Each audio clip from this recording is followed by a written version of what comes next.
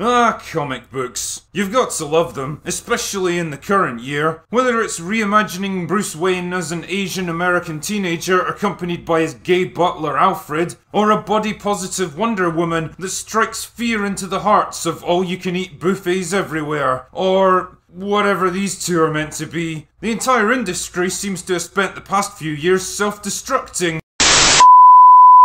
I mean, reinventing itself into something more diverse and inclusive. And what could be more diverse and inclusive than a YA novel about the gay, goth, plus sized daughter of legendary DC superhero Starfire, struggling to escape the long shadow cast by her famous mother and find her own sense of identity during her turbulent teenage years? It's a good premise, really, allowing the writer to explore questions of family legacy, personal identity, societal expectations, the real world implications of fame, and the complex and often difficult relationship between mothers and their teenage daughters. So let's take a look at this exciting new work, shall we?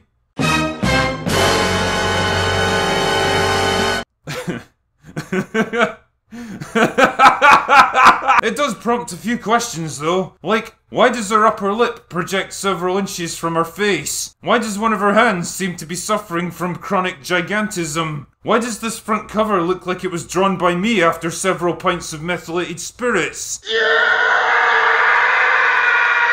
I thought the whole point of YA novels is that they're intended for, well, young adults. So they're supposed to look cool, edgy, sexy, and compelling. This looks like the kind of thing your weird hippie aunt would get you for Christmas when you're five years old, and you'd politely dump in some cupboard and never talk about again. Is there a reason the author might have chosen to style her main character like this? Well, let's take a look at her, shall we?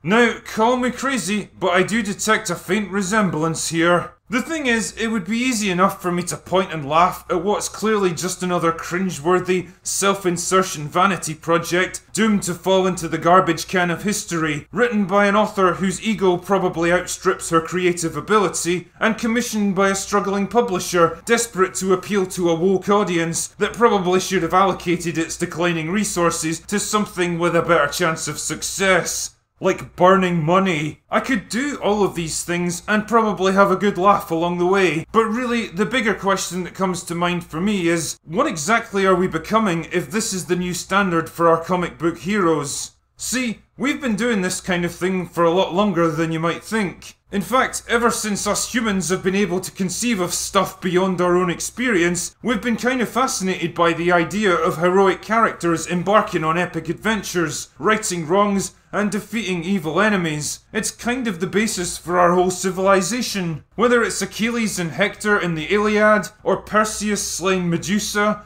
or Beowulf fighting Grendel, or St. George killing the dragon. You could pick basically any culture on Earth at any time period, and the chances are you'll find legends and stories of heroic men and women accomplishing great deeds. Characters who could best be described as more than human. Men of destiny, men of great skill or superhuman strength that allows them to overcome the most powerful and terrifying enemies imaginable. Jump forward a few thousand years, and we're still doing the exact same thing with a new generation of heroes and villains that we've created all for ourselves. The classical heroes, gods, and monsters from our ancient legends have been replaced by modern day reinterpretations, and instead of storytellers spinning their tales around a campfire, now we have comic books, movies, and TV to satisfy our needs. The technology might have changed, but the basic motivation hasn't. We still have the same drive and hunger for stories of larger than life heroes and villains, the same need to believe in things that are grander and bigger than our own petty existence, the same aspiration to be more than we are. And I guess this is the real point I'm trying to make here.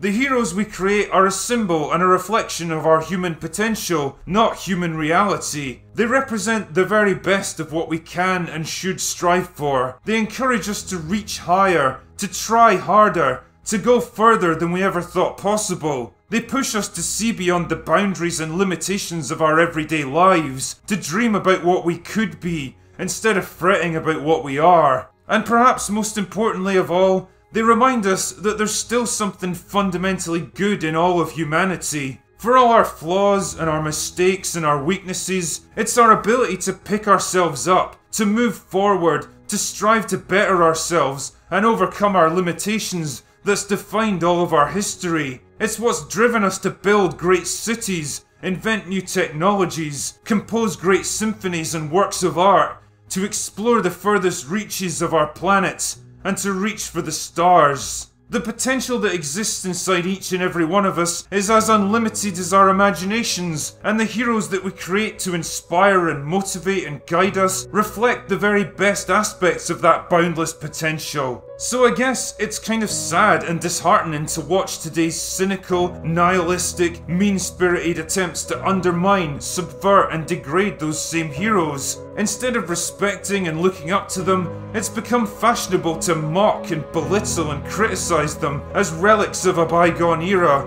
or symbols of oppression or discrimination without really understanding what they stood for in the first place. People who once looked to our heroes as symbols to aspire to, as a motivation to become more than they are, now see them as an unflattering reflection of their own weaknesses and failures. Rather than try to better themselves and their lives through hard work, courage, and sacrifice, they instead find perverted joy in tearing down anything that stands higher than them bringing everyone and everything down to their level instead of the harder but more rewarding task of raising themselves up. And the end result of this way of thinking is a small, petty, envious view of the world. The kind of thing that belongs in the minds of small, petty, envious people who hide their dark intent behind a facade of compassion and fairness. The kind of people who hysterically preach acceptance of everything, no matter how ridiculous, harmful, or pathetic. Because once you accept everything, then there's no need to strive for anything. And instead of the mighty and inspiring heroes we used to look up to, well, you end up with stuff like this. Now ask yourself, who exactly do you think is going to be inspired and motivated by this? Anyway, that's all I've got for today. Go away now.